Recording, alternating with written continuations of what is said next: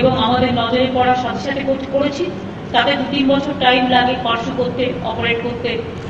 যাই হোক, তার মধ্যে কাজটা তো হয়ে গেছে শুভ নববর্ষে। এটা শুভ নববর্ষের একটা বড় উপহার আর বাংলার মানুষের নিজস্বতা, এটা একটা বড় উপহার। ভালো থাকবেন, সুস্থ থাকবেন।